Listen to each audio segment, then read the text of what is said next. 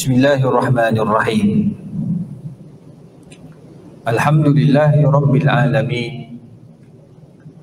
والصلاة والسلام على أشرف الأنبياء والمرسلين وعلى آله وصحبه والتابعين إلى يوم الدين رب اشرح لي صدري ويسر لي أمري واحلل عقدة من لساني يفقه قولي أما بعد السلام عليكم ورحمة الله وبركاته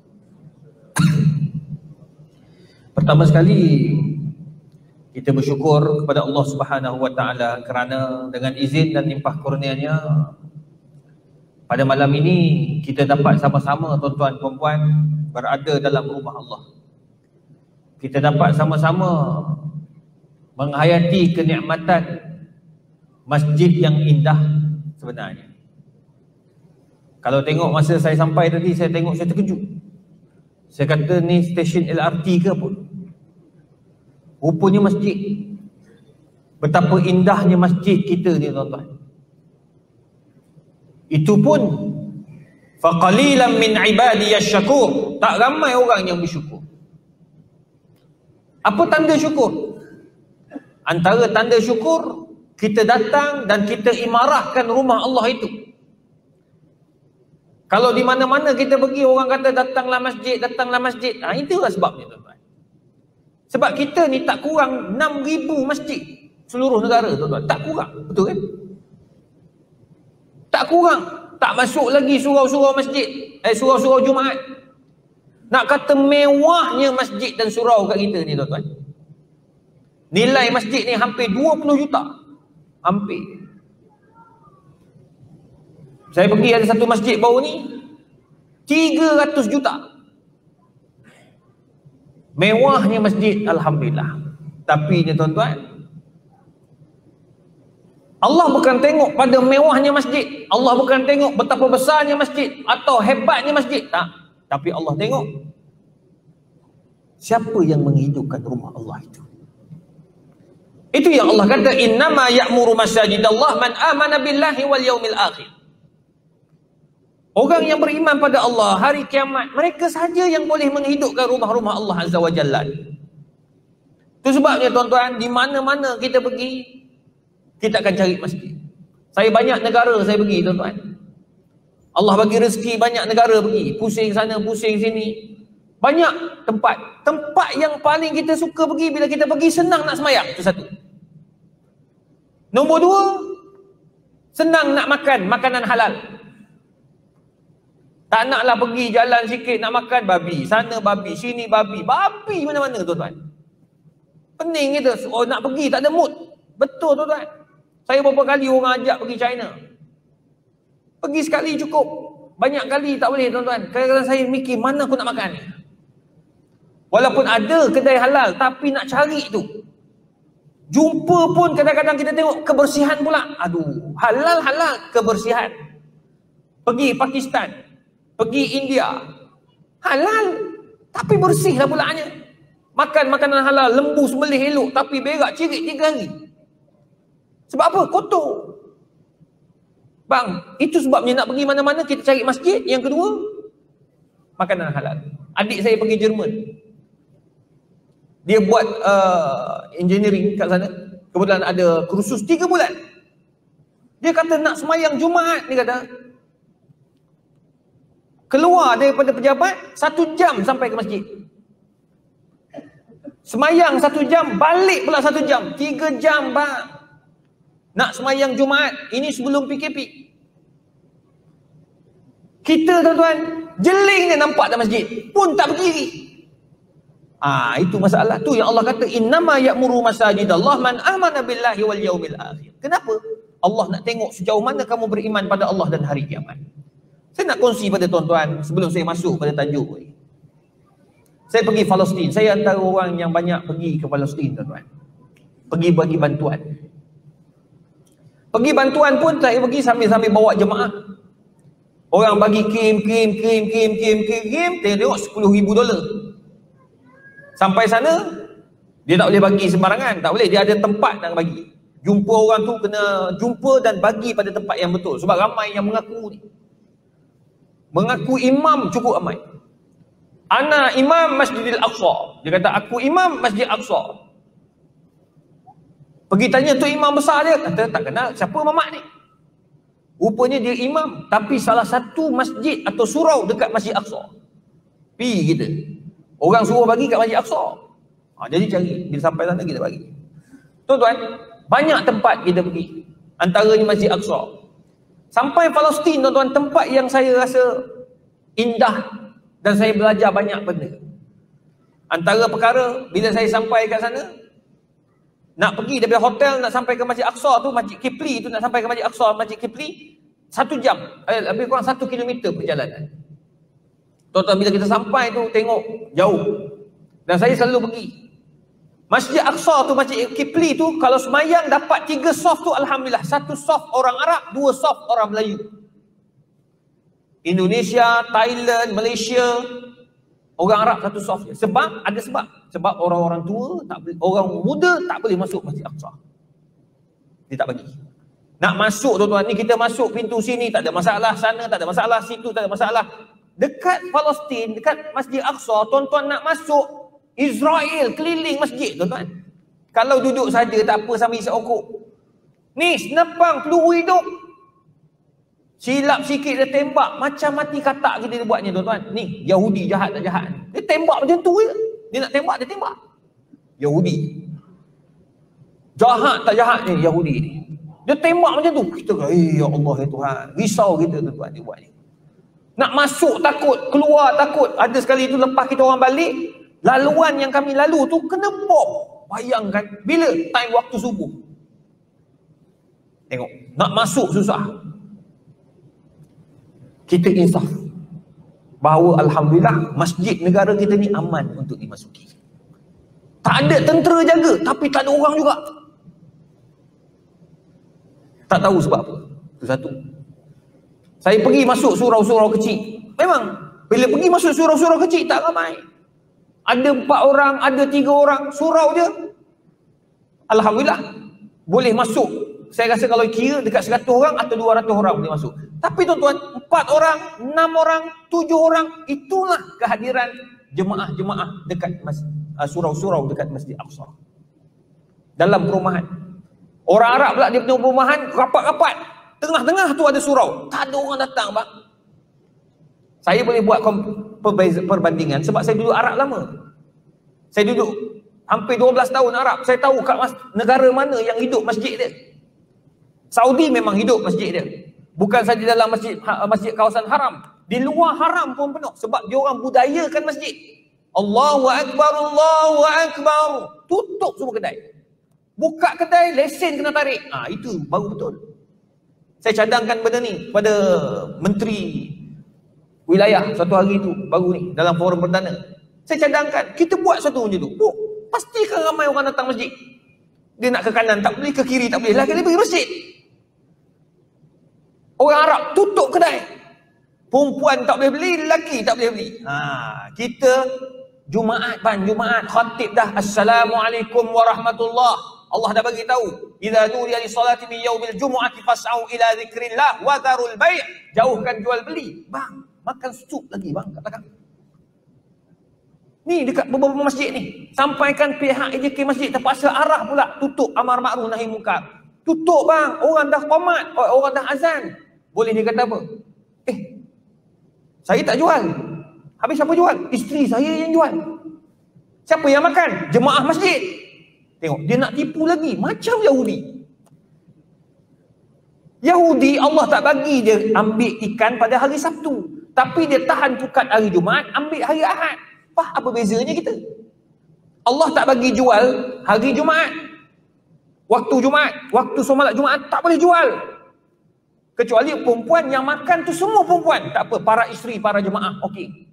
Sementara tunggu suami semain Jumaat, isteri-isteri makan. Tak apa. Ini masalahnya. Isteri semain Jumaat, suami makan mie. Bang, ini berlaku sampaikan khatib-khatib terpaksa bagi tahu tuan-tuan yang makan kat luar sana haram jual beli di luar sana. Terpaksa bagi tahu tuan-tuan. Kenapa jadi begitu? Ni iman. Innama ya'muru masajid Allah man amana billahi wal yaumil akhir. Tu. Bila saya pergi sana baru saya tahu tuan-tuan. masjid dan surau tidak hidup. Maka benarlah apabila Allah Subhanahu wa taala sebut Ya ayyuhalladzina amanu atti'ullaha wa rasulahu wa la tanaza'u fatafshalu wa tazhaba rihukum. Kenapa orang orang Palestin tak boleh nak merdeka daripada Israel? Tak boleh merdeka daripada Zionis. Kerana apa? Mereka berpecah belah. Masjid mereka mati. Orang Arab dekat Palestin ada beberapa ideologi. Mereka tak bersatu padu. Bila bom jatuh, semua kena. Yahudi tak kena. Israel tak kena. Zionis tak kena. Yang kena siapa? Orang Islam. Palestin, dua-dua parti kena. Itu sebabnya kita orang Islam kena bersatu padu. Nak kuatkan agama, kena bersatu padu. Macam mana nak kuat? Masjid. Itu sebabnya Nabi bina masjid Masjid Quba, kemudian Masjid Nabawi sallallahu alaihi wasallam. Sekarang ni tuan-tuan, macam mana kita nak hidupkan rumah Allah ni? Nak kejar 27 pahala tu. Ni pengurusi ni macam-macam cara lah tuan-tuan. Malam ni makan free pula. Betul tak? Raya. Makan. Baru tiga bulan. Kalau tiga tahun tak tahu berapa hari makan free. Bayangkan tuan-tuan. Dah macam-macam cara nak bagi hidupkan masjid ni. Masa masa bulan Ramadan, Alhamdulillah kita belajar. Kita dapat hidupkan rumah Allah Azza wa Jalla. Suka datang. Pengurusi-pengurusi, AJK, AJK, imam paling happy sekali. Itu sebab imam baca bulan Ramadan sedap. Sebab dia semangat tu, semangat ramai orang. Alhamdulillahi Rabbil Alamin. Suara pun sedap. Pusing belakang, tengok penuh orang belakang. Bulan Ramadan. Syawal hilang bang orang. Tu sekarang ni ada masjid-masjid, taman-taman buat poster. Mencari orang hilang. Hilang Ramadan penuh sebelakang macam mana Syawal hilang? Tak apalah kita kata Syawal ni sibuk dengan bulan makan. Madih raya lekat dekat jam, saya tak nafikan tu. Lepas ni tuan-tuan. Ni hari ni last. Kita tengok macam mana esok. Adakah sama macam bulan Ramadan? Ah ha, itu yang kita kena bermuhasabah. Maka tak lain dan tak bukan iaitu al-istiqamah. Kita perlu istiqamah. Nak istiqamah ni tuan-tuan sangat berat. Perlukan kepada mujahadah. Apa itu istiqamah? Dia sulukus siratul mustaqim. Iaitu ikut jalan yang betul secara konsisten. Maknanya kalau kita datang masjid, kita konsisten datang masjid. Tak kisahlah tuan-tuan nak datang kat sini ke, nak datang ke tempat lain ke, tak kisah. Yang penting konsisten. Macam mana nak konsisten? Ulama ajar buat 40 kali. Ni bukan Nabi ajar. Jangan pula kata Ustaz Izzah buat hadis bida'ah pula. Ni sekarang ni salah tuan-tuan. Sebut sikit salah angka dia kata ni ustaz ni bawa bid'ah pula.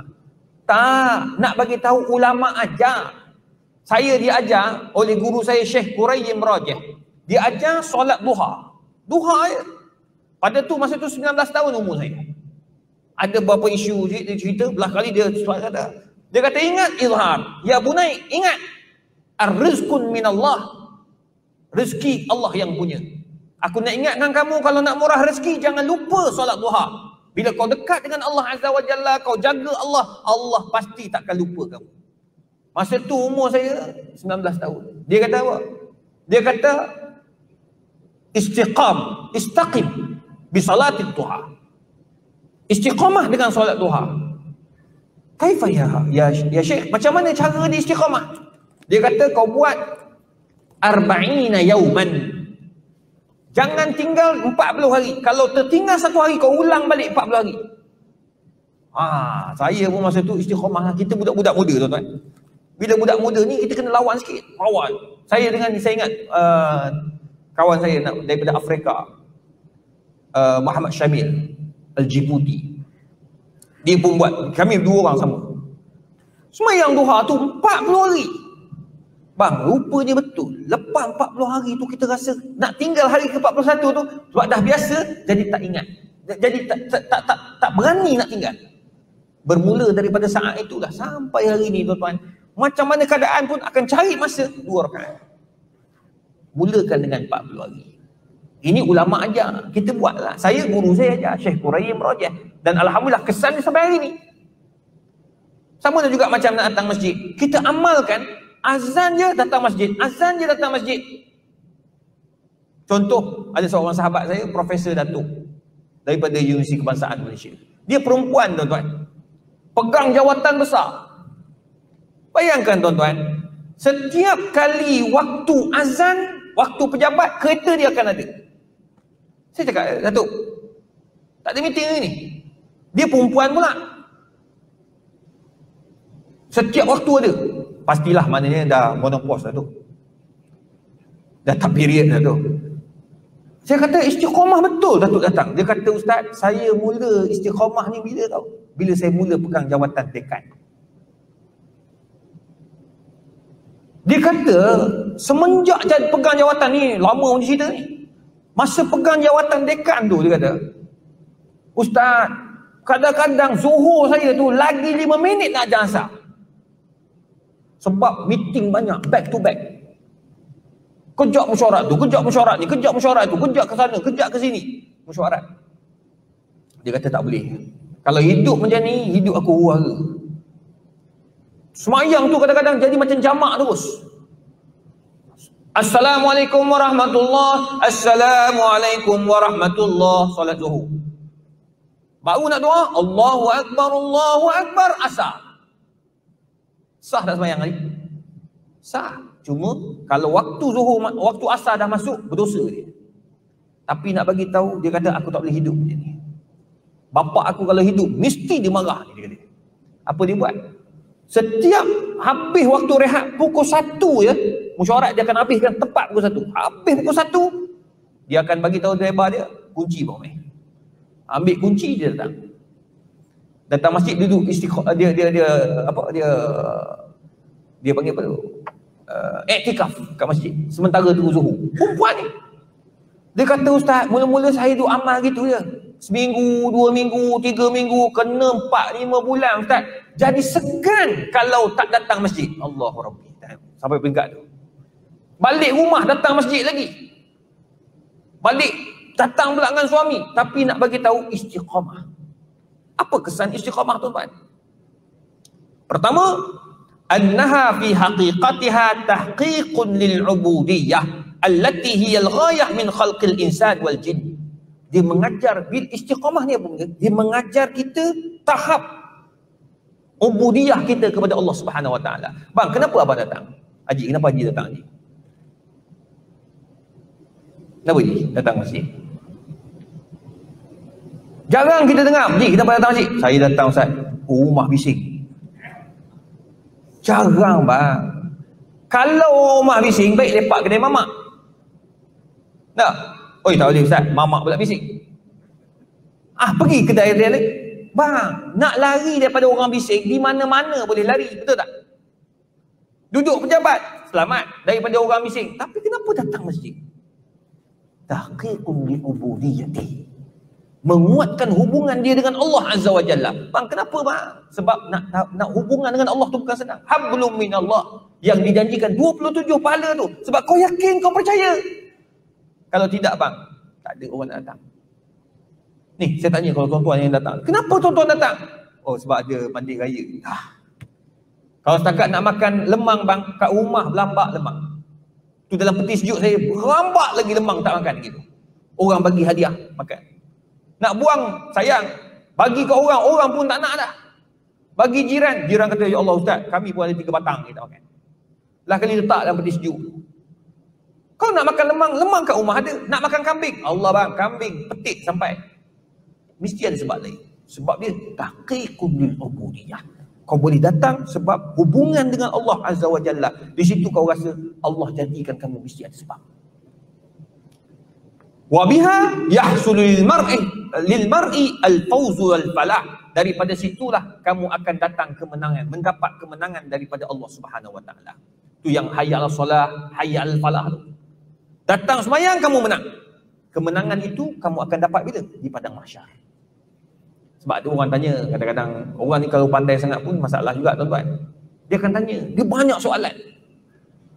Ustaz, betul ke orang yang semayang ni datang masjid selalu ni dia akan dapat pahala ke akhirat boleh masuk syurga selamat daripada azab kubur saya kata itu yang Nabi cakap ada bukti tak? Ha, tanya bukti tu masalah saya kata kalau nak bukti mati lah dulu Sebab ada benda yang kita boleh dapat buktinya sekarang. Minum arak mabuk membawa kepada kemudaratan. Nampak kan? Mabuk, langgar tiang, langgar orang dan sebagainya. Itu nampak sekarang. Tapi kalau buat pahala ni tak nampak sekarang. Macam tuan-tuan impak, tuan-tuan bagi sedekah. Tuan-tuan tak nampak sekarang. Bila tuan-tuan nampak? No. Apabila tuan-tuan mati kelak. Ada yang Allah bagi masa tu juga. Contoh baru-baru ni, uh, dalam bulan saya tak ingat tarikh yang tepat tapi WhatsApp tu ada. Seorang hamba Allah dia bagi tahu kat saya ah maaf sebelum raya dua hari sebelum raya dia bagi tahu kata isteri dia akan buat akan buat pembedahan pada tarikh sekian selepas raya ni dia kena buang dekat bahagian rahim ni jadi bila buat pemotongan rahim dekat rahim tu dia akan kena bahagian usus bila kena usus tu dia najis akan duduk kat luar. Dia pack pakai pack najis. Kawan saya buat, isteri dia kena, memang najis duduk kat luar hampir tujuh bulan dah. Esok akan buat buat check up balik, nak masukkan balik kena tengok semua okey. Tapi azab tuan-tuan, kesian kat dia. Kawan ni pula nak buat, isteri dia kena sama benda yang sama. Doktor bagi tahu macam-macam tuan-tuan kat dia. Beli apa nama bag najis kemudian dia akan ada implikasi ni, implikasi ni. Sebab masa potong tu memang akan kena usus. Dia letak dalam kepala dia, isteri aku akan berada dalam keadaan yang sangat teruk. Sebab apa? Najis kat luar. Dan dia sangat tak terurus, susah nak nak nak nak, nak bergerak dan sebagainya. Lepas tu dia sebut dalam, dalam grup WhatsApp. Saya jawab satu je. Saya kata, banyakkan sedekah. Semoga Allah permudahkan. Ayat kedua, banyakkan sedekah. Saya bukan saya cakap, tapi ini Nabi yang pesan. Dawu mardakum bis sadaqat. Bagi orang sakit kamu, ubati orang sakit kamu dengan sedekah. Tuan-tuan tahu tak apa dia cakap? Dia kata masa ustaz tulis perkataan sedekah tu, saya marah ke ustaz. Saya tulis kat bawah tu, okey, okey Saya perasan, Okey, saya pun tak tahu apa dia punya perasaan. Dia kata, Ustaz, masa Ustaz cakap sedekah tu saya marah gila ke Ustaz.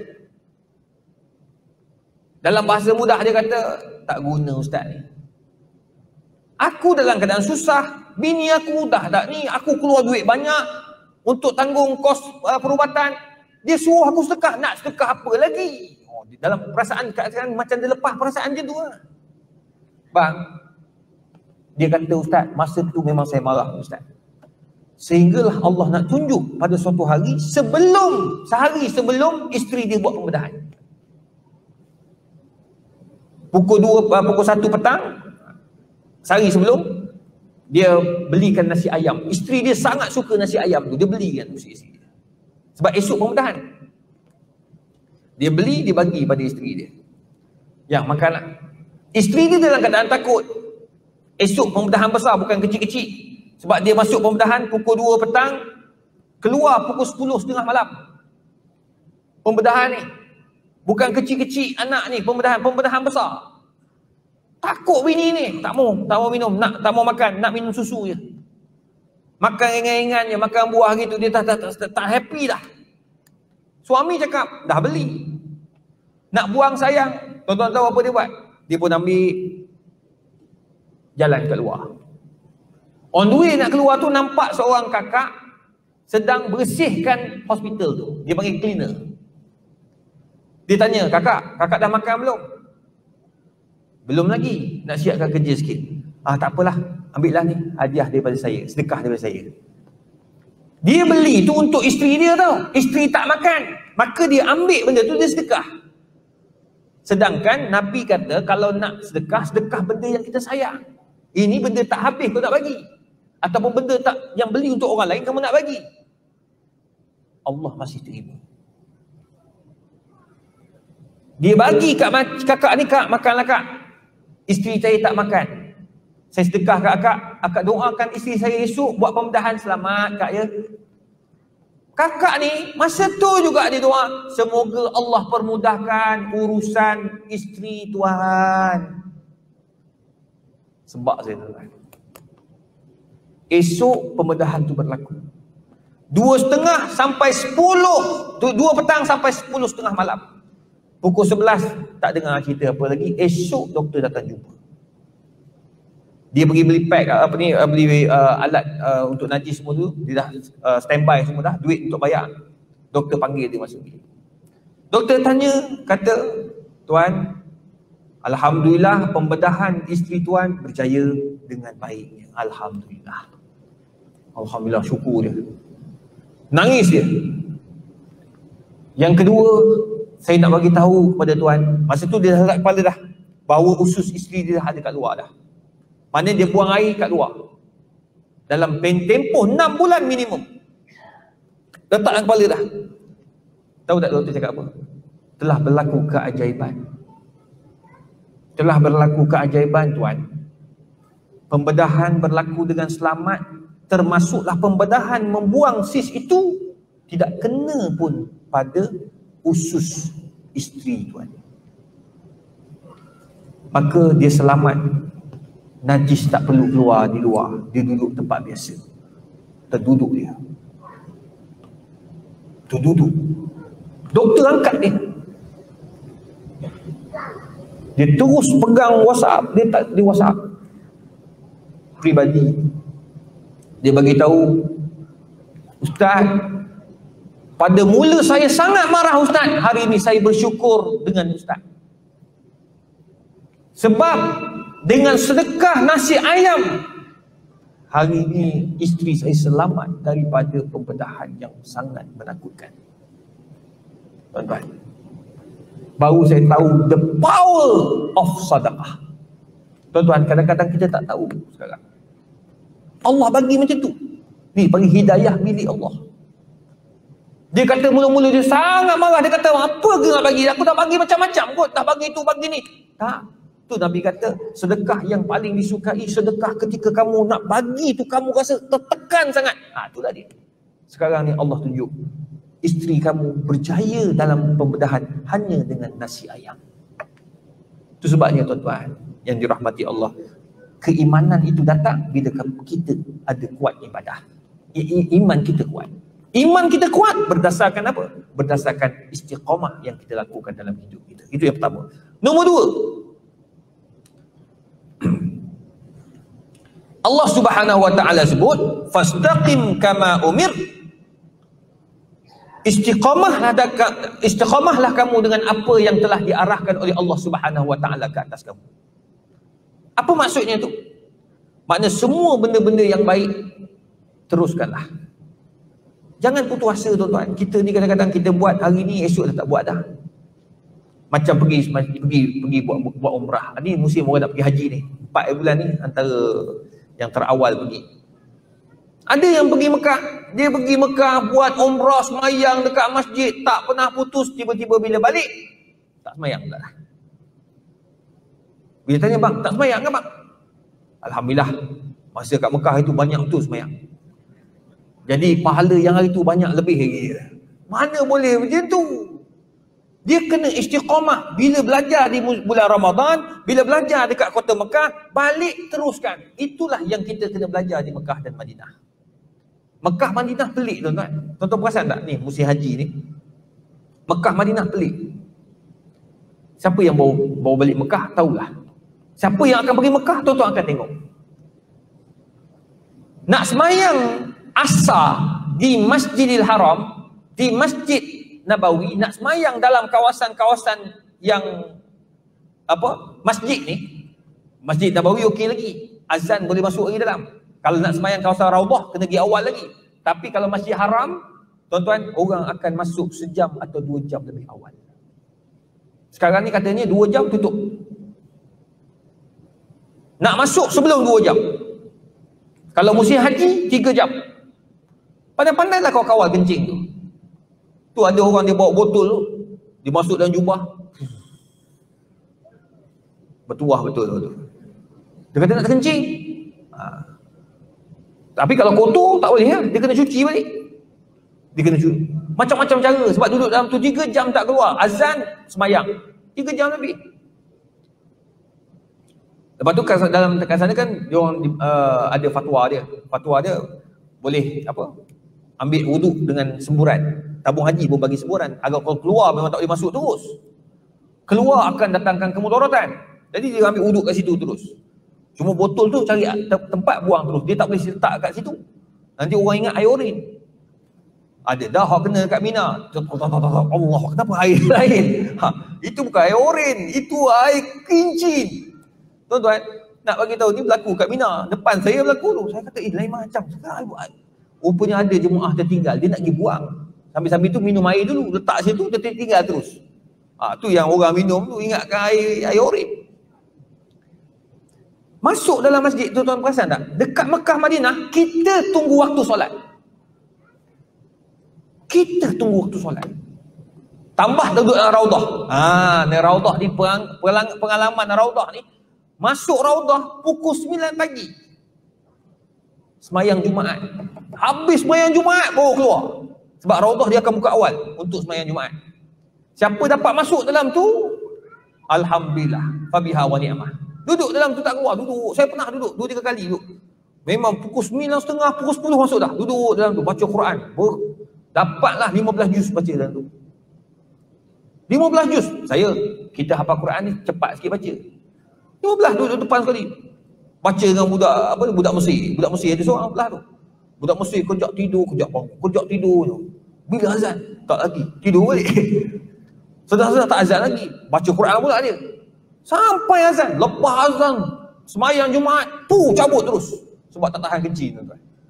Tapi nak bagi tahu tunggunya kita. Ha, tu Mekah Madinah. Tapi kenapa kita kat Malaysia tak dapat? Sebab apa? Sebab kita tak istiqamah dengan apa yang Allah suruh. Dua. Nombor tiga. Wa mimma yadullu ala ahamiyatiha anna Rasul sallallahu alaihi wasallam lamma ja'ahu Sufyan bin Abdullah Al-Thaqafi radhiyallahu anhu yaqulu lahu kulli fil Islam qawlan la as'alu anhu ahadan ghairak. Faqala Nabi sallallahu alaihi wasallam, "Qul amantu billah fastaqim." Tengok. Nabi pun pesan. Macam mana kata uh, Sufyan bin Abdullah Al-Thaqafi ni dia kata ya Rasulullah bagi tahu ke aku apa satu benda yang aku takkan tanya dah kat orang lain dah.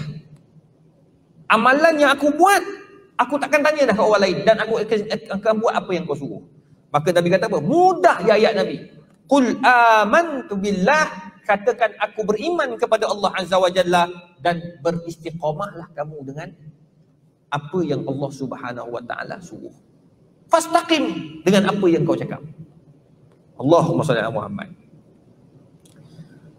Antara sebab-sebab tuan-tuan yang dia kasih sekalian menyebabkan kita istiqamah juga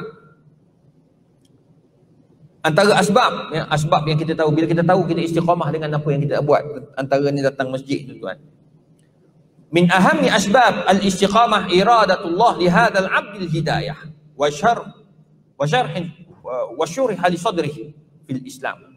Pertama, antara sebab-sebab istiqamah ni juga disebut oleh para ulama. Apabila kau istiqamah dengan amal ibadat, khususnya datang ke masjid, semayang, lepas tu jaga amal ibadat. Pertama, Allah nak kamu ni mudah dapat hidayah. Sebab hidayah ni dia tak datang bergolek, kita kena usaha. Hidayah tak datang bergolek, tetapi kena usaha.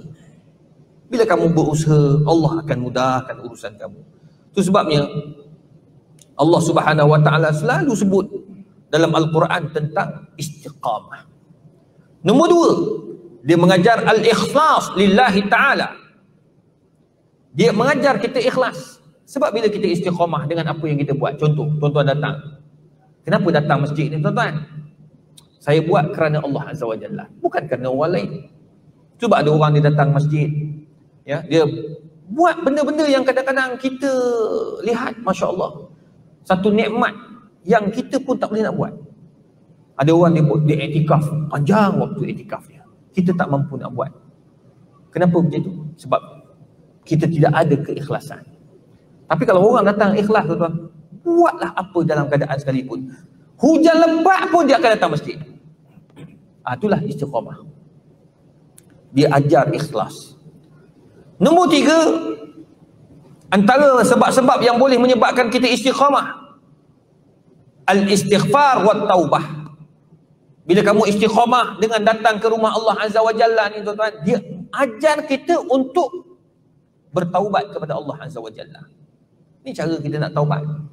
Bila datang masjid tuan-tuan, kita akan jumpa macam-macam orang. Macam-macam orang kita akan jumpa. Kita jumpa orang ni pula, tuan-tuan. Ada orang jenis macam ni, ada orang jenis macam tu. Kita datang masjid, antara yang boleh menyebabkan kita taubat, istighfar. Kita beristighfar dan kita bertaubat.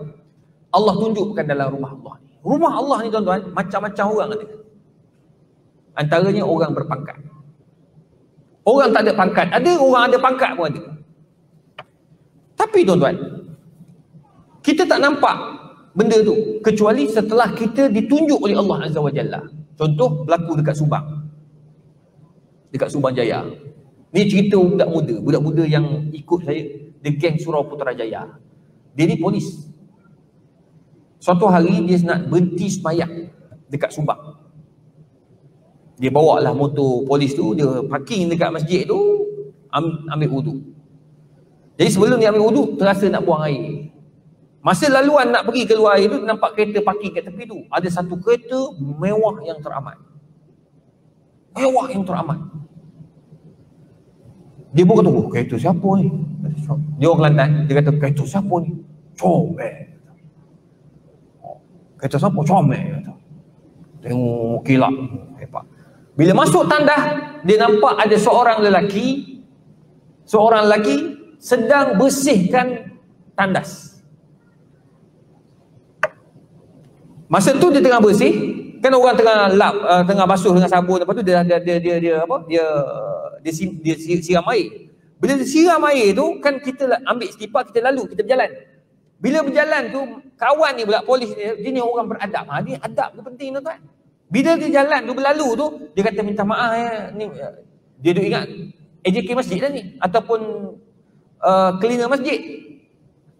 Uh, boh minta maaf boh tumpah lalu boh nak pergi tandah. Ha, ya. Nak pergi tandah minta tumpah lalu minta maaf ni basuh dia kata basuh kotor dia kata. Dia ni orang Kelantan pekat. Duduk KL lama dah tapi Kelantan dia tak boleh tinggal. Budu sentiasa. Minta maaf boh nak lalu. Orang tu kata tak apa tak apa tak apa. Dia lalu orang tu simbah lagi air. Orang tu keluar boh sekali lagi boh lalu boh. Actually lalu lalu dia simbah balik air. Dia pergi ambil wudu. Semayang. Habis semayang keluar nak pergi kat motor tengah-tengah pakai helmet, orang yang basuh tadi naik kereta Porsche yang parking depan masjid, depan masjid ni. Rupanya hok basuh tadi kereta yang hampir 2 juta tu milik orang yang basuh. Kenapa dia buat macam tu? Nak letakkan aku ni hina di sisi Allah Azza wa Jalla. Kawan hok budak boleh ni dia kata ustaz, masa saya tengok tu ustaz, terus insah saya. Mujulah aku ni Tanya dulu minta lalu. Kalau aku tolong arah Tu jambai jangan lupa basuh Ada setengah orang macam tu. Buat tak tahu lalu. Tak, Jangan bang. Kita tak tahu siapa yang basuh. Kadang-kadang kita lalu orang tu menyapu tu. Eh bukan AJK tu.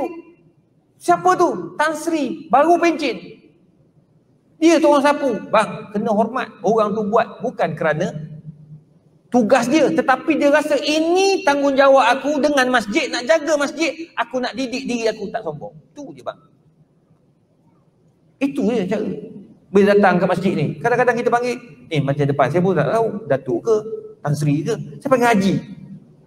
Oh, dalam, dalam hati kau panggil aku haji? Kau ingat siapa aku ni? Oh kalau dalam hati saya yakin tak. Dia pun ada ah tak ada Tan Sri semua, datuk ke doktor, profesor, semua tu akan pergi setelah aku meninggal dunia. Allah Dia ajar kita tahu. Ada yang yang oh tuan-tuan, kalau bab pangkat jangan main. Jangan main-main. Silap sebut boleh kena marah. Saya duduk universiti tuan-tuan. Universiti ni tak ada orang tak cerdik. Semua cerdik. Sebab semua profesor. Kalau mesyuarat tu semua ada teori. Mati kita. Kalau pengurusi tak pandai potong, selamat. Pengurusi pun kena profesor juga. Sebab semua, saya berpandangan, nah sudah. Dia mula berpandangan tu sampai kiamat tak habis mesyuarat. Sebab semua pandai. Kerajaan habis duit bayarkan orang belajar ni berapa ratus ribu ni untuk jadikan dia orang tu lebih pandai. Tapi bang, bila ada PhD ni dia rasa lain. Dapat doktor depan. Tengok orang pun lain lah. Kadang-kadang anak murid tak kenal lah panggil. Assalamualaikum Ustaz. Ho? Jalan lah, pusing balik. Apa dia? Ustaz, apa khabar? Awak tahu siapa saya?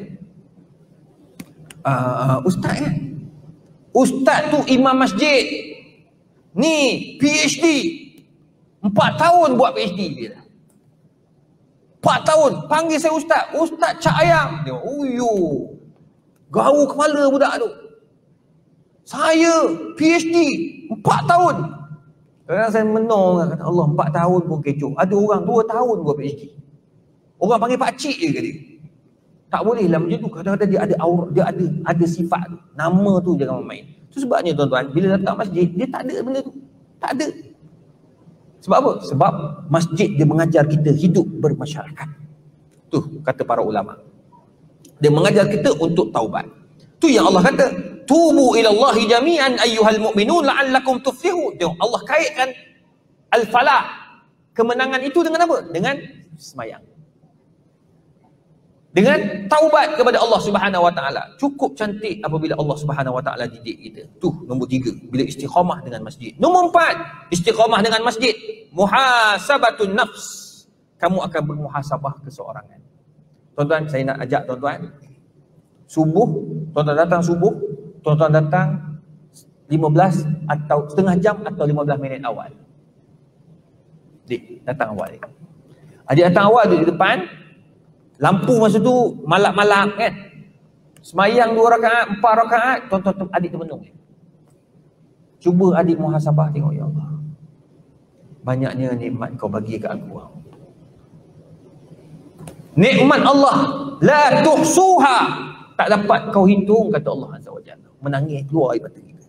Itu panggil muhasabatun nafsi fi wahdaniyatik. Kau bermuhasabah ketika kau berseorangan. Allah. Nangis tuan-tuan, nangis. Sedih. Saya cakap ni pun saya rasa macam ya Allah. Allah bagi nikmat. Allah bagi nikmat suara, Allah bagi nikmat mata, Allah bagi nikmat perjalanan, Allah bagi nikmat kerja. Tuan-tuan, nangis kita seorang-orang. Muhasabatun nafs. Itu yang Allah kata dan dalam Al-Quran, Ya ayyuhalladzina amanu Ya ayyuhalladzina amanu taqullah wal tanzur nafsum ma qaddamat lighadin wattaqullah innallaha khabirum bima ta'malun. Bila kau datang masjid ni, kau cuba muhasabah. Ya Allah, apa yang aku dah buat untuk agama aku? Ni masjid ni yang aku tengok banyak-banyak. Apa yang aku buat ya Allah? Apa infak aku pada masjid? Apa yang aku bantu untuk makmurkan rumah Allah Azza wa Jalla ni? Tuan-tuan, tak payah banyak. Para ulama kata, Dr. Sayyid Ramadan Al-Buti kata apa? Tak payah banyak, nak infak besar-besar tak payah. Kalau kita tak ada duit, jangan risau. Apa infak kita? Tariklah anak kita datang. Ni, adik dua orang, adik seorang.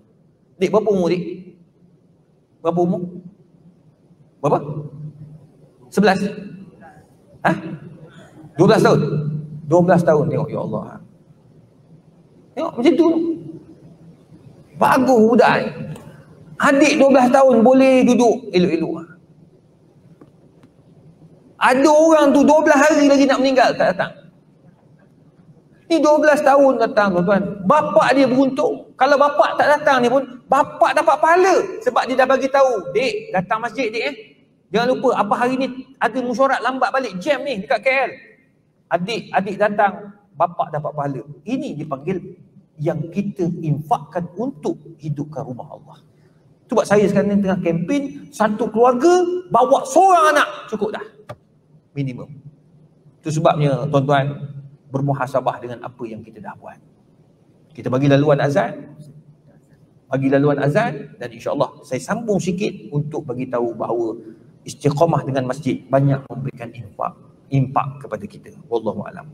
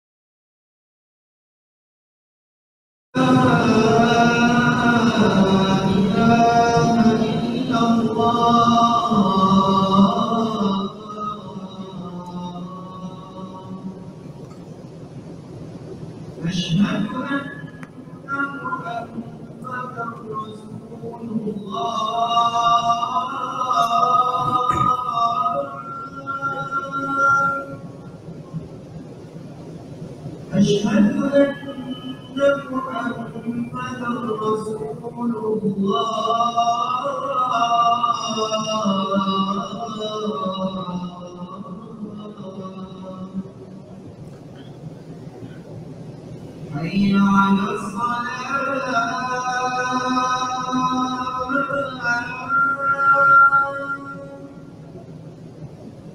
حي على الصلاة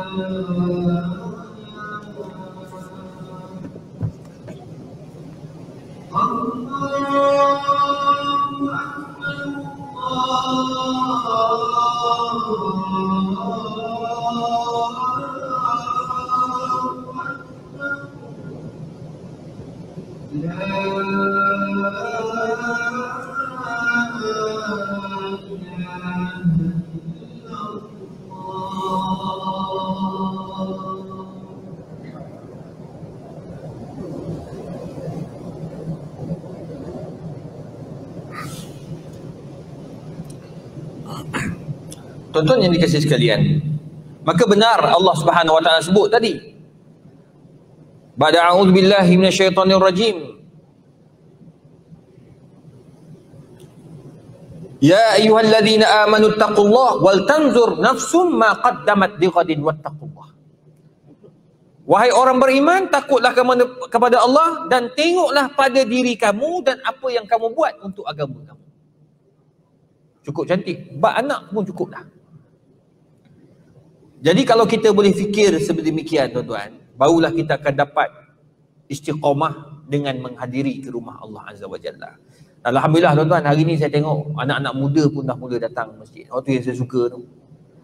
Tadi pun apa, saya dekat dekat uh, Meridian tadi ada program untuk halal kebangsaan dan antarabangsa dirasmikan uh, oleh Yang Amat Berhormat Perdana Menteri ada satu dana lebih kurang satu juta. Dia rintitan daripada yang sebelum lah. Untuk kembangkan ekonomi halal. Menariknya tuan-tuan. Orang duk bubuk bubuk bubuk apa nama kerja PM tu saya kat belakang kita jalan je lah. Nak berebut tak lah. Apa bubut bagilah orang nak jumpa kan. Tiba-tiba habis PM balik je tiba-tiba datang dua anggota polis Seorang-seorang dia kata, Ustaz-Ustaz boleh kita bergambar tak? Saya kata, eh, tak bukan tadi jaga PM ke? Haa, ah, itulah. Patah PM balik. Dia bergambar Ustaz, patah balik. Dia patah balik, ambil gambar. Saya kata, terima kasih lah, kenal. Dia kata, Ustaz, kita orang selalu tengok Ustaz dalam dalam YouTube. Khususnya Ustaz, Ustaz Khairi dengan Ustaz Hasdin Bollywood. Suka dia kata, mendekat dekat dengan orang muda. Lepas tu tak tahu lah budak-budak lain datang bergambar adalah geng-geng profesor tu tengok dia kata eh budak-budak tu kenal ke mana? Kenal kat masjid je. Bila kita kenal budak-budak kat masjid tuan-tuan kita layan geng-geng muda ni tu sebabnya dia orang suka dia orang appreciate. Tu sebab Ustaz Azhar Idrus dia lepas lepas lepas uh, kuliah dia tak makan masjid. Pernah tak jemput? Kalau jemput dia dia tak makan masjid. Dia dah bagi tahu PA dia bagi tahu dia takkan makan kat masjid. Sebab dia akan lepak dengan budak-budak 20 ke 30 orang budak-budak muda. Tu sebab budak muda suka dia kena bodoh tujuh kali pun tak apa Orang hotel semua bodoh. Bodoh pun tak apa. Yang penting minum teh tarik ke dia. Ha, tu, tu cara dia. Orang macam mana nak tarik orang muda. Tu, kadang-kadang saya belajar tau. Ustaz Abdul Samad. Dia tarik orang muda. Budak muda ikut dia berapa ramai. Ha, tu sebabnya benda-benda macam ni yang kita kena uh, dekatkan. Kita kena bagi, hidupkan masjid ni dengan rumah budak-budak muda, anak-anak muda. Alhamdulillah suka tengok anak-anak muda ni. Ni pun ramai budak-budak muda ni. Yang ambil gambar ni, video ni, budak-budak muda semua ni. Jarang saya jumpa orang tua ambil gambar. Video ambil, dia pun cari tu. Dia tak jumpa sebab dah dah dah mata pun dah kelabu kan. Ha, kesian kan dia. Bagi orang muda-muda buat. Tengok alhamdulillah budak-budak muda buat cantik, video cantik, dia buat YouTube. Juta orang tengok. Sekarang budak-budak muda ni dia rakam, dia potong-potong pula masuk masuk TikTok. TikTok ni ramai orang tengok. Ha, jadi biarlah budak-budak muda tengok. Tu sebabnya tu kaedah dakwah hari ni. Dia tak boleh, dia tak boleh sama, tak boleh. Dia kena berubah-ubah. Tuan-tuan ni kesian hasil daripada apa nama daripada yang uh, apa muhasabah tadi maka akan lahirlah apabila kamu istiqamah apa yang kamu akan dapat nombor lima kamu akan dapat ilmu yarfa'illahu alladhina amanu minkum walladhina utul ilma darajat dekat masjid banyak ilmu sebenarnya dan sekarang ni alhamdulillah masjid-masjid sudah ada doktor-doktor perubatan pula mengajar saya galak kan, memang saya suka sangat. Cuma dia orang ni, pihak masjid akan minta lah uh, tauliah khas kan. Dia ada tauliah khas. Boleh minta. Sekarang ni, yang layak bercakap, Fas'alu ahla zikri in kuntum la ta'lamun. Nak cakap bak perubatan, jangan bagi ustaz. Dekat Pening, Kedah, sekarang ni, doktor bagi kuliah. Tajuk dia, darah tinggi. Tengok kuliah maghrib, darah, darah tinggi. Semua orang datang, bang. Memang dia darah tinggi pun. Dia nak tahu apa ubat ni. Ni biar yang cakap tu orang pakar. Yang cakap tu doktor. Dia tu ada kelayakan daripada KKM. Kementerian Kesihatan Malaysia. Dia cakap, tuan-tuan, apa punca darah tinggi? Punca darah tinggi pertama, kedua, ketiga, keempat. Baru ni tentang jantung. Ramai orang kata, oh saya jantung, saya badan fit, tak gemuk, tak gemuk. Ramai orang salah faham. Jantung ni dia bukan kira orang kurus gemuk. Kadang-kadang orang gemuk tak ada jantung. Yang kena bersatu badan. Main futsal. Tiap-tiap malam tengok tengok. Dia lepek jatuh meninggal. Kenapa? Jantung. Heart attack. Ada main badminton. Baru nak semai oh! Dah rebah kebetulan pula malam tu main badminton pakai seluar pendek. Wabillahi taufik tu sebabnya pakai panjang-panjang terus. Ada orang kata tak apa nanti kan dah dah tua sikit taubat lah. Takut tak ada taubat. Baik kau tutup aurat saya siap. Biar mati mati tutup aurat. Cantik-cantik dia mati. Jadi nak bagi tahu tuan-tuan, dapatin jantung. Sebab apa? Tajuk jantung. Tapi janganlah tiap-tiap hari jantung. Lari orang. Daripada tujuh tu, tujuh, tujuh hari tu ada satu hari perubatan. Tajuk perubatan. Doktor tu buatlah subjek macam macam bidang lain. Nah, saya cadangkan begitu. Tak salah mungkin Selangor uh, belum ada yang buat di Kedah di Pulau Pinang dah buat banyak dah. Mungkin kita boleh cadangkan tu. Saya lupa lah orang cakap dengan mufti. Mungkin boleh cadangkan satu. Biar doktor bercakap. Ni sekadar. Bak darah tinggi yang cakap ustaz. Bang itu yang ke laut tu. Kenci manis. Ha, saya sebab saya buat kajian dengan dengan doktor perubatan. Saya fake science. Bidang saya fekah dan sains. Penulisan saya 600 artikel semua tu yang berkaitan dengan sains. Fake dan sains. Ni saya dilantik oleh Mosti untuk bincang, untuk buat kajian tentang vaksin halal kerajaan punya kita nak buat oleh Mosti bayangkan tuan-tuan doktor-doktor ni dia ada etika nak cakap Okey, kalau orang tu kecil manis, apa dia suruh makan? Dia ada ubat-ubat dia. Kalau nak bagi madu pun dia akan bagi tahu madu yang macam mana nak makan. Ni tak, ustaz yang jual madu semua laku. Lepas tu dia kata, tuan-tuan jangan risau tuan-tuan. Nah, ni bila bukan bidang tau. Tuan-tuan kena kencing manis. Ada kawan saya kencing manis tuan-tuan. Dia makan madu saya ni Alhamdulillah. Darah kembali baik. Mamat ni pun belilah kawan kita ni beli. Pakcik ni pun beli. Dia darah tinggi 21. Makan-makan kaki kena potong. Dia kata, Miss, macam mana Nabi tipu? Marah Nabi pula lah. Bang, doktor cakap, madu Makan madu ni, madu tu dia kena makan berapa, dia ada dos dia. Satu hari berapa banyak makan. Dia tak boleh banyak. Sama juga macam buah tamar. Tuan-tuan, Alhamdulillah, buah tamar ni tamar yang Nabi suka, tamar ajwah dia kata. Tu pun tak betul dah. Nabi Nabi tanam ajwah. Nabi suka rutab. Tuan-tuan, Nabi suka makan rutab, tuan-tuan. Makanlah rutab. Kencing manis hilang, tuan-tuan. Pakcik ni pun belilah. Makan tiga tandan, Pak. Kencing manis makin tinggi mencanak ni. Pakar-pakar diabetes ni, dia kata ramai orang silap makan. Maka kena potong jari, na'udzubillah. Tak boleh lah macam tu. Dia kena, rupanya makan makan buah taman ni dia ada. Kalau buah taman Nabi, dia ada berapa berapa biji makan kalau orang tu kencing-kencing manis. Kalau orang tak kecil manis dia ada. Tu ilmu. Kalau kita belajar ilmu tu, kalau ustaz tu apa ni kalau doktor yang mengajar tu ilmu tu, kalau katakan yang mengajar tu akidah, kalau di Selangor akidah mesti kitab dia. Akidah Ahli Sunnah wal Jamaah. Dalam keadaan Selangor ni pun akidah Ahli Sunnah wal Jamaah dia ajar kat masjid. Tu ada tak kurang 40 40 ajaran sesat yang difatwakan daripada 2016 sampai sekarang oleh mufti negeri Islam. 14 eh 40 tak kurang. 20 50% daripadanya semua kata Datuk Mufti tak semayang Jumaat. Sebab mereka tafsir Jumaat tak wajib. Cukup dengan mengingati Allah saja. Oh pula dah. Oh tu okey okey ada pula. Ah, semayang ni tak penting. Yang penting hati ingat Allah. Niat saja. InsyaAllah semayang zuhur dah siap. Tapi makan kau tak, kalau makan kau tak niat pula. Niat saja, tak payah makan. Balik. Tak, kau makan sampai tiga tong kau makan. Lain pula. Ha, tu. Kahwin tak boleh pakai niat pula. Mesti kena kahwin. Ha, tu lah. Macam tu pula. Itu sebabnya tuan-tuan ilmu. Syariat sama juga. Banyaklah kalau nak tengok. Masjid ni macam-macam nak ilmu dah. Tapi kita tak datang. Bak talak. Hmm. Masjid mana yang tak mengajar talak? Apa ni bab nikah? Semalam baru ni dekat masjid uh, Shah Alam. Ada orang cadangkan, dia nampak educated cepat cakap orang putih. Dia kata, I think, ah, dia kata kita ni uh, apa kursus kahwin ni bukan hanya tiga hari tetapi perlu tiga tahun. Se itu bukan kursus, itu kuliah. Dapat ijazah lah tu kalau kat UKM tu. Ijazah kahwin. Sebab betul tak salah kat kakak tu. Sebab dia kata ramai orang tak faham tentang agama dia, syariat dia. Tu yang keluar tak bagi talak kot bagi talak pakai SMS. Ha? Ada yang gantung isteri tak bertali. Ada yang bagi-bagi ai talak you. Dia tak bagi tahu talak berapa. Satu, dua, tiga.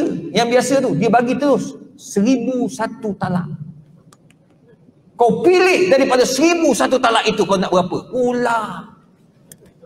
Ha? Ada yang baru ni yang telefon saya dekat saya masa tu tengah beli barang.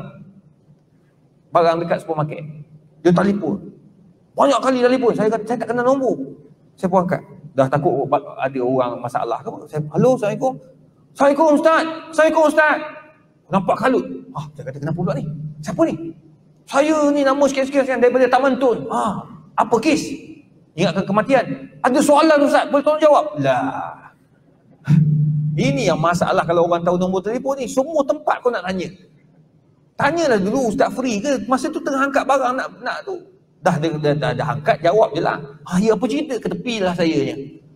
Ustaz tolong Ustaz saya. Tolong Ustaz saya. Kenapa? Semalam saya bergaduh dengan isteri Ustaz. Saya bergaduh. Sampai ke pukul 3, 4 pagi. Saya tak boleh terima Ustaz. Saya belah macam tu je. Kau belah bagaimana? Saya keluar pergi pejabat.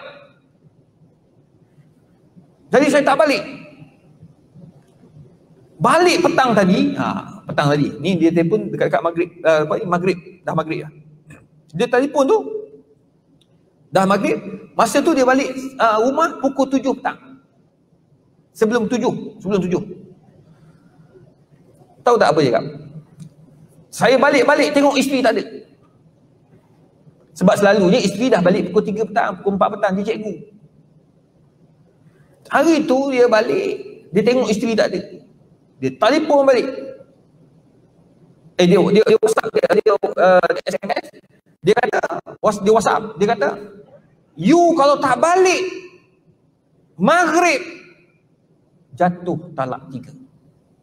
Sembang banyak tak tu bagi talak tiga. Isteri tu call. Yang apa yang you cakap ni? You tahu tak I kat Johor? Kan I dah bagi tahu you yang I ada kursus kat Johor. Pagi tadi gaduh you belah. You lupa you kena hantar I kat airport. I ambil grab. Sekarang ni I kat Johor. Macam mana nak balik? Tu yang dia telefon saya tu maghrib. Ustaz macam mana jatuh tak talak ni?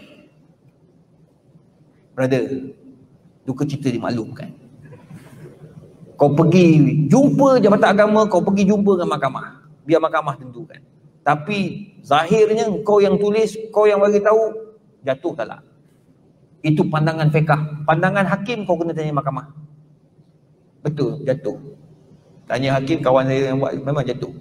Sebab apa? Memang betul dia. Tu sebabnya jangan bagi talak tiga terus.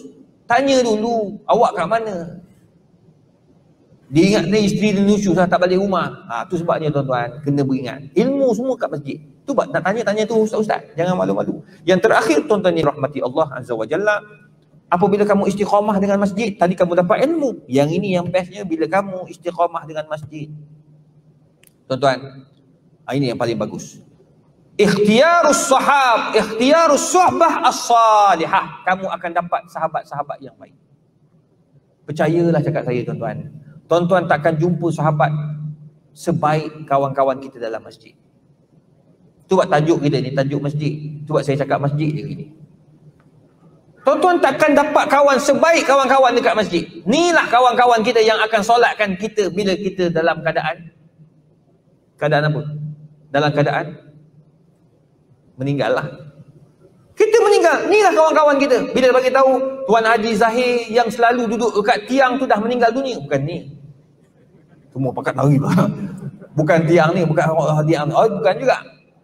Yang ada kat tiang tu dah meninggal. Ramai. Oi kenal. Tuan Haji tu aku ingat lagi. Aku duduk situ. Dia kata this is my space. Aku ingat orang tua tu. Sekarang kena pergi lah. Dia tu orang baik tuan-tuan. Orang ni lah akan datang. Percayalah. Siapa yang akan mandikan jenazah? Masa COVID baru ni. Bang, siapa nak mandikan? Kalau bukan kawan-kawan masjid kita ni. Ingat kawan-kawan main golf kita nak datang masjid? Nak datang main mandikan kita? Belum tentu bang. Persatuan golf Malaysia datang. Tak. Yang datang ni lah imam-imam, Tok Bilal, EJK, EJK, kawan-kawan rapat kita kat masjid yang minum, makan sama-sama kan. Ha, itulah kawan-kawan yang akan mandikan kita. Yang akan solatkan kita. Percaya cakap saya. Kat Bukit Mahkota banyak kali dah berlaku. Betul, saya duduk makan ni pengurusi. Saya pun terkejut dekat sini juga. Semua tempat dia ada. Semua masjid besar-besar dia jaga. Tapi berjaya, masjid tu penuh. Kuliah dijaga. Tuan-tuan sungguh. Bila tengok kan, orang tu meninggal, tapi game masjid penuh orang datang semayang. Penuh orang datang. Orang datang, keluarga datang. Oh, dia kata, hari tu ada sekali tu saya ke kuliah. Ramai orang kuliah kuliah. Dekat Masjid Seri Putra, kuliah maghrib. Kuliah tu datang. Orang ramai. Jenazah mari. Orang kat luar cakap. Masa saya masuk tu. Eh ramai lah. Untunglah abah meninggal kat sini. Dia orang tempat lain. Tapi dia meninggal kat situ. Untunglah Abah. Ya Allah, ramainya orang semayang. Apalah amalan Abah? Ha, tengok. Mujuk sebab taman tu taman orang itu. Orang yang datang semayang. Suka itu. Itu sebabnya cari sahabat-sahabat daripada masjid lah. Percayalah. Allah tidak pernah menipu. Yang menipu kita. Jadi itu sebabnya carilah sahabat-sahabat yang baik. Sebab Nabi SAW dia suruh kita mencari sahabat-sahabat yang baik. Sahabat yang baik takkan berlaku kecuali datang ni daripada geng-geng yang suka datang ke rumah Allah Azza wa Jalla. Semoga tuan-tuan yang dirahmati Allah, puan-puan yang saya kasih sekalian, kita dapat manfaat. Ya, jadi kita sama-sama buatlah. Sekarang ni saya tengah kempen. Kempen saya di negeri Selangor dan juga wilayah persekutuan sebab saya ada kuliah bulanan. Saya mengajar kitab. Jadi kempen saya satu keluarga bawa satu orang anak. Kalau seorang, kalau dia boleh minimum seorang. Tapi kalau semua orang bawa dua tiga mesti penuh masjid kita. Tuan-tuan takkan rugi. Kalau tak percaya masa tuan-tuan meninggal dunia tu imam akan panggil siapa yang boleh solatkan jenazah ini ada anak angkat tangan. Uh, imam saya anak sulungnya saya anak tunggalnya, saya anak bongsunya lelaki, saya nak jadikan imam. Boleh ke ustaz? Silakan. Memang itu yang digalakkan oleh Islam. Masa tu tuan-tuan, ayah cukup gembira. Ibu cukup gembira walaupun ketika itu mereka sudah berada di dalam keranda.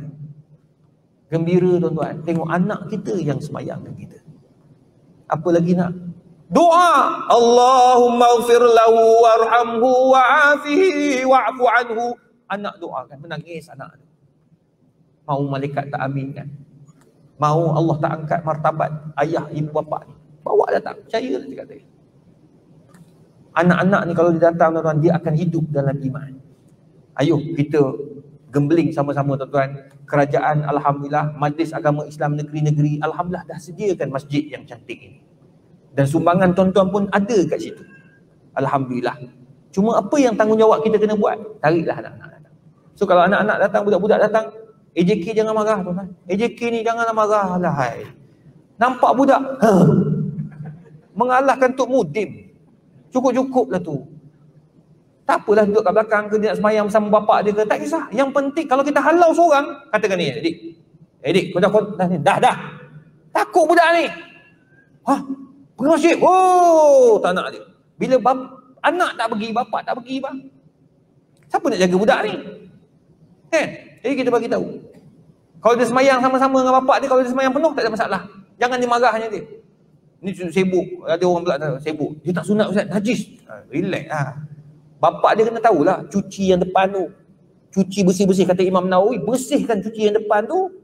Suruh dia beruduk semayang penuh. Tak ada masalah. Soft tak putus. Kalau dia tengah semayang, dia lari ke belakang, itu sifat budak. Jangan risau. Biar dia lari. Dia main pun dalam kawasan ni. Kan? Dia lari. Zzz, ah, tu, tu, baju merah. Ah, tu, tu. Itulah budak.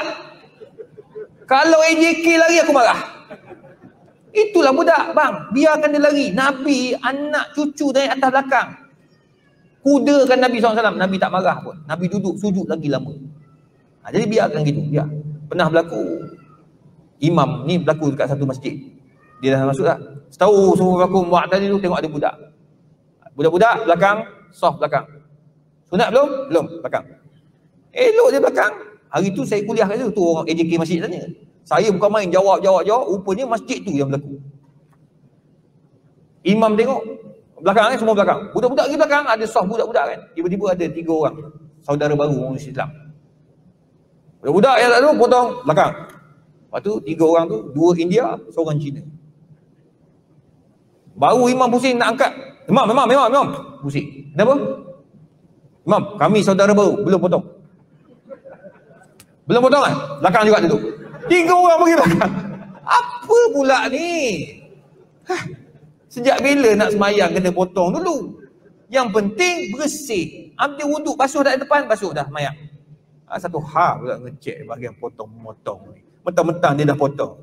Nah, jangan. Kita kena ada adab juga. Kita kena tahu hukum hakam ni. Nah, putus soft tu tak apa.